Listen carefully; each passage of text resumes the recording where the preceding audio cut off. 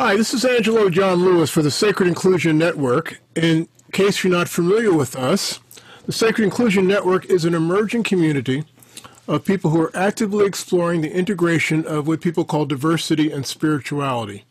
Now, a lot of us have different opinions as to what that looks like, but for me personally, I see sacred inclusion as nothing less than a sacred path in and of itself. You can find more about us by going to our website, sacredinclusion.com. Today, I'm honored to interview Christina King. Christina King is an activist and community leader. And if you're watching on video, you may not be aware, or even if you're listening on audio, that she's also a trans person.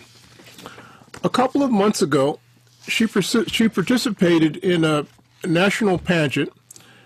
She is also Miss Trans Illinois, and in the national pageant, she got Miss Congeniality. And if you can imagine, if you if you don't know Christina, um, she's in a way. Some people might say she has like lots of strikes against her in life. Um, not only is she a trans person, which makes her a, um, let's say, a persecuted minority in many circles. Uh, she's also from a rel- relatively traditional family, um, and uh, you know she's African American. If you can see from if you're if you're on the if you're on the video podcast. Um, one of the things that Christina has done is that she created a, a supportive community in the Galesburg, Virginia area, that, that she, and she's created something called Safe Space, which allows people within the LBQTQ plus community to come together and converse.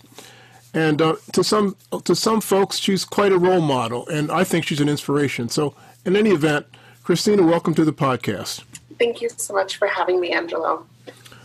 Christina, I'd like to start by telling me a little bit about your own spiritual and religious background. Yeah, so first, it's Galesburg, Illinois. Okay, sorry about that. no, you're fine.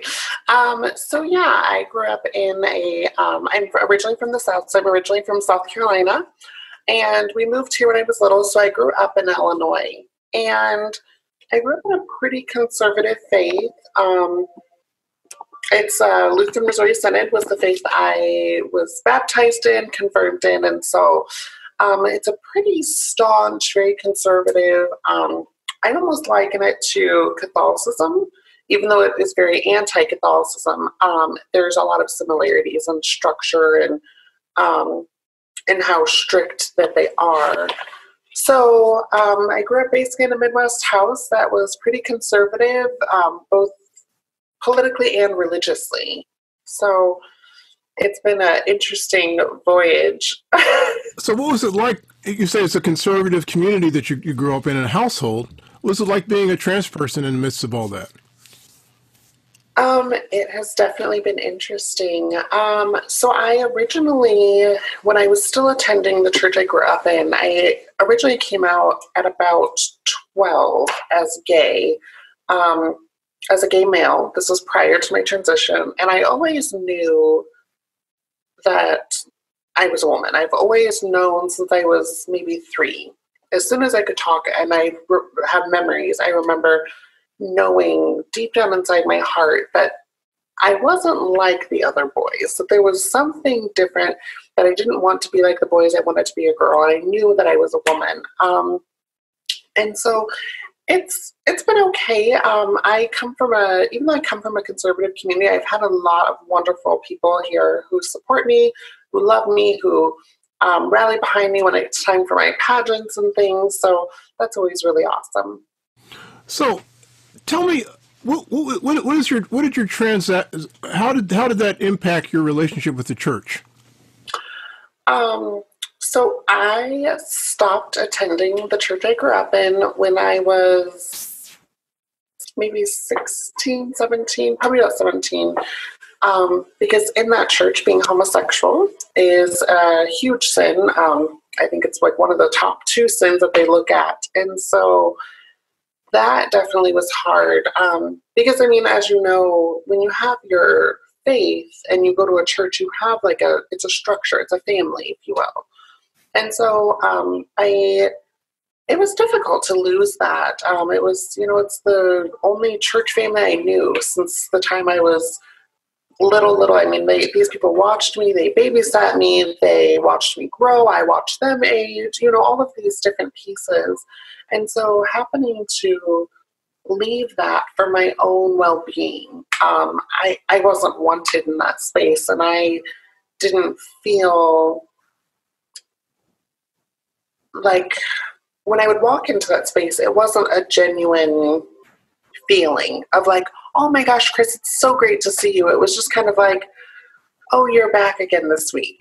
and so, um, you know, it just got to the point that I said to myself, you know, I would, I, and I said to my family, you know, I would rather either sign up to work every Sunday, which I did for a while, and that was my excuse to not go to church, or I would rather stay in bed and not have to um, feel as awful about myself. You know, I, as a transgender person who was fighting their own identity, I already felt horrible about myself. And so I was like, I could stay in bed and feel bad about myself, and I'll have to get up, get dressed, and feel even worse.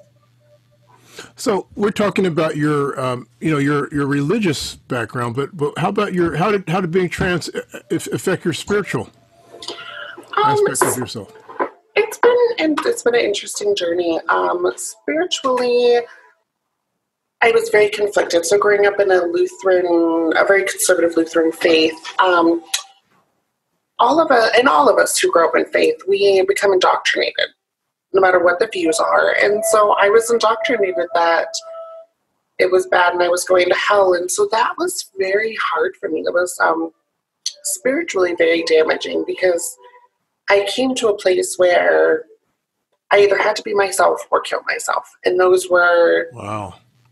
Um, and so for me, it was very difficult because one, I mean, you if you kill yourself, what I was always taught growing up was that you go to hell, and so it's like okay, I go to hell if I kill myself because I can't be myself, and if I do be myself, I'm going to hell because I am my true authentic self. So that's that was very, difficult. Yeah, I can imagine. I mean, it sounds it sounds it sounds terrible, actually. I mean, this is this is kind of a, a silly question, I guess, but give me your sense as to everybody has a spiritual journey in life, um, especially people who are, believe in the I'll call it the spiritual path. How do you think that um, transgender folks in general? How is it different from non-transgender or so-called straight folks? Um, I think, and I can only speak for my own journey, but as a trans person, I feel that a lot of us in the community have been hurt by religion. And so it's a very difficult thing. Um, I know a lot of my trans brothers and sisters, when we talk about faith, it's very difficult for us because a lot of us do come from faith backgrounds. I mean, if you look at the United States, predominantly most people grow up in some sort of faith background. And so it's difficult because so many of us have been hurt and coming back from that it's it's very difficult it's very very difficult to mm. come back from that place of hurt and pain to try and um, believe in something that has attacked you your whole life i guess would be the easiest way to think about it it's um, I, I, I don't even know how to describe it. I mean, it's almost like having a dog and you love that dog. And every time you walk in a room, that dog attacks you. Oof. And you want to learn how to love that dog, and then there's really no way to do so because every time you go into that space, you're being attacked. And so I think for a lot of the LGBTQI community, it's very difficult. It's very, very difficult because you do gain connections, you know, like my old church family, there are some of those people I still just love and care for and but every time I see them, I mean, it, it's hurt. It hurts. It definitely hurts. So how did you how did you come to a place of acceptance with yourself, and also, um, if you're from a religious background, how did you get right with God and be accept, accept yourself at the same time? What was that process like? Um, it was a pretty long process. It was a few years. Um, I would say I kind of lived in this very dark place. I was, um, I went through a really awful breakup, had a nervous breakdown, and was just in a very dark place. And I remember a friend of mine who is my pastor currently. Um, I do community theater with her and her husband, and she said, well, "Why don't you come to our church? You know, we're open, we're affirming, basically meaning that they are LGBTQ friendly as a church." And I said, "You know, Pam, I love you, but it's not for me. I I'm done with the religion thing." And I think I finally hit a wall, and I just I felt this void um, growing up with faith, I always had some sort of net, if you will, right? When you are in the you know the deep of the night and something wakes you up and you are just in agony it's that moment where you can call out to someone right? And you can say you know dear god please help me. I need your guidance. I need you to guide me. And i didn't have that um, and it was really it was very difficult. It was very very difficult for me. Um, and so finally i you know i gave her church a chance and i came here and i said fine i'll show up on sunday. And it was just it was just a feeling for me. And i i learned something in the church that i attend now which is first lutheran church. It's an elca church. It's reconciling in christ. And i learned about grace that was the biggest thing. I had never been taught about the grace of God and what that looks like. And so having a pastor who said, hey, first of all, none of us are perfect. Second of all, God doesn't make mistakes and God made you. And hearing that message really, it really did change my life because I I never knew that, right? I always was told God doesn't make mistakes but you are defying God. And so to hear God doesn't make mistakes, if this is how you've always felt, there's a reason that you are in the positions you are. Look at your life, look at what you've done and what you can do. Like, there's a reason why you've been put here. So it sounds like it was useful to have a straight, a straight ally, if you will. Yes. Yes. Oh, yes, for sure. So tell me about this safe space thing that you you started. Um, w- w- sure about what is share a little bit about what it's like to create it, um, what it's like, and what it's done for you? Yeah, so after the 2016 election, um, my pastor and I felt that we needed a safe space for people to come be themselves where they could, um, you know, we could break bread together, we could talk, we can talk about spirituality, we can talk about politics, we can talk about family, we can talk about all these different pieces, and everyone can be their true, authentic self. And so um, we started this, we started a group called Safe Space, and that was the goal, was just we wanted everyone to be able to come to the table, no matter race, age, um, ethnicity, background, no matter what you identified as, we wanted you to be able to come and be your true authentic self. And so um, we started the group at right after the election, and it was for people 18 years old to 30 or through their 30s. And so we just kind of, again, we just wanted that space where people could be themselves and could feel comfortable in that space to know that I can come out, I can live as my true self in some capacity. So, what is the relationship to spirituality and religion with this safe space group, or is there is there none? Is it just simply a place for people to gather and to sort of experience acceptance? Um, yes and no. So um, it's held in a church, but it really isn't spiritually based. Um, we do talk about spirituality, um, obviously, as a way for us to, as reconciling Christ Church, it's a way for us to reach back out into the community and say, hey, we know the church has hurt you. We know that this has happened how can we help? What can we do to make sure that you feel safe? And we've talked about, um, I would say the most spiritual that we get is we have to, had discussions on spirituality, and we've had people of the Wicca faith and people from my church, people from, um, I'm sorry, other faith denominations who have come in and we've sat down and we've talked about our different belief systems and how we grew up and what doctrine we follow and what does that look like for all of us? Because it's very fascinating to i think it's such a beautiful thing to listen to people's stories and to see and to break bread with people who are not like you. So you can i think it's a perfect way for us to learn about each other and to learn to love each other. And so um, I would say the most spiritual we've gotten is that um, we've talked a lot about the clobber verses throughout the few years that it's been going on, um, just because that is so predominantly what is used against us as a community. I'm sorry about the what? I didn't understand. The the clobber verses. The, I'm not, not familiar with that. What is that? Um, the clobber verses are, and I would have to send the list to you. Um, they're the verses like, um, if a man lays with another man, he shall be stoned. Those Okay, so they're they're sort of like anti-gay religious uh, Yeah, Bible it- it- texts. Yeah, so basically, it's the verses that are used by conservative, we'll say conservative faiths, Right. um, to condemn the LGBTQ community. Okay, um, imagine I'm from someplace that um, and and I don't, I've never met a trans person, right? Uh, and I may think that I've never even met a gay person. There are people like that, believe me. They think they've never met a I person. know it always shocks me.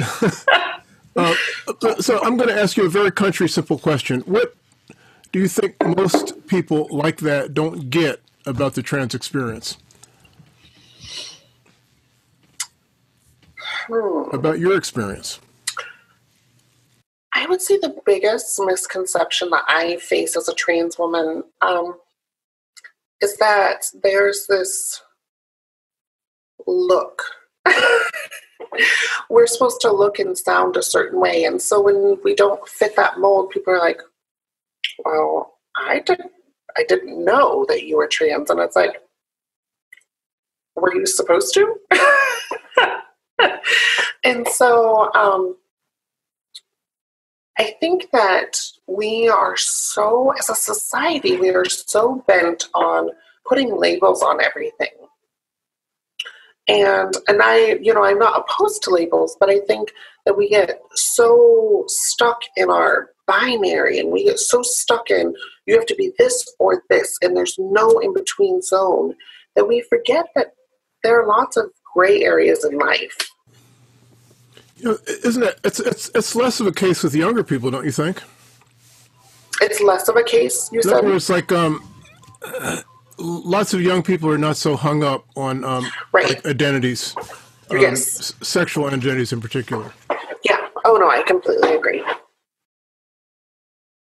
So, um, I- I guess the last question, Christina. Um, you know, these are these are tough times in lots of ways. You know, um, politics is, is is is unusual. To say to make a long story short, We've got climate change going on.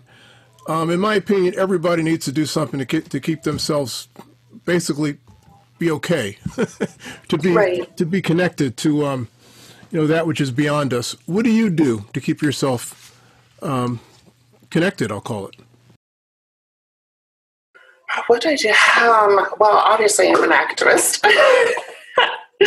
I also um, I do a lot of prayer. I try to pray and meditate because it is so easy in today's times. Like you said, we are seeing things today that we have never seen. And I'm only 26. I just turned 26 in November, and so we're seeing things now that in my lifetime have never ever happened.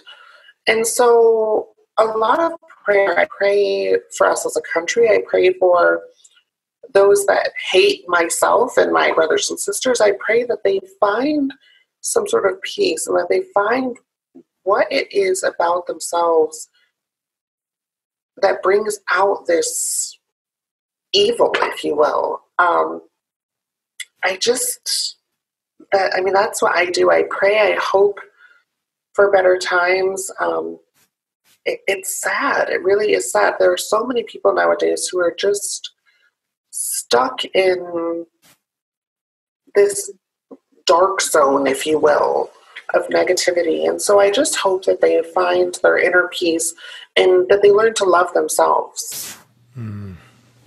You know, and then I, I just pray that, um, you know, I know uh, you and I have talked prior, um, and I just pray that this moment is kind of like um, a poem that you and I have talked about prior as well, that um, the Footprints in the Sand poem. That, you know, when we look back and we look at our lives and we say, where was God at this time? That we can say, it was in this moment that I carried you. I wonder if you have that poem handy. I, I would I would love to have you have you read it for me. Okay, give Close this one. out. Yeah, take your time. I can pull it up here.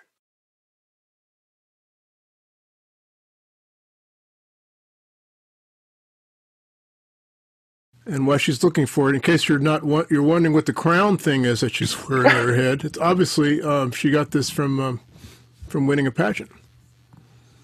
Okay, so I've got it. Okay. So the poem is called Footprints in the Sand. And the author, I want to say, is unknown. It's been kind of just circulated around for years, but it's something I have hanging up in my house. Um, and it starts with One night I dreamed a new dream. As I was walking along the beach with my Lord, across the sky flashed dark scenes from my life. For each scene, I noticed two sets of footprints in the sand, one beginning, one belonging to me, and the other one to my Lord. After the last scene of my life flashed before me, I looked back at the footprints in the sand. I noticed that at many times along my path, especially in the very lowest and saddest times, there was only one set of footprints. This really troubled me, so I asked the Lord about it. Lord, you said once I decided to follow you, you'd walk with me all the way. But I noticed that during the saddest times and most troublesome times of my life, there was only one set of footprints. I don't understand why, when I needed you the most, you would leave me. He whispered, My precious child, I love you and I will never leave you. Never ever. During your trials and testings, when you saw only one set of footprints, it was then that I carried you. Hmm. Well, um, I'm going to say formally goodbye in a minute, but I want to tell people about our, our little network, which I hope you will um, be a part of. Um, people want to get more involved in the Sacred Inclusion Network. There's several ways to do so. Um, the simplest thing, the easiest way is to join our private Facebook group. Um, you can find us by going looking for doing a search for Sacred Inclusion on Facebook, and you can find us. And if you ask to be invited, I will let you in. Um, also, on the third Saturday of every month, we have um, online community gatherings about various topics. You can go to our website and look under past events to get some idea of what they are. And third, if you want to support the podcast, um, you can do so by going to Patreon, and there's a way to contribute and, in effect, become a sponsor of the show. Um, Christina, um, I hope that this um, little conversation we've had will bring some understanding to people. Um, and uh, I'm so so grateful that you've taken this time to share with me today. And um, you know, shine on. yes, of course. Thank you so much for having me, Angelo. I really appreciate the opportunity. Great.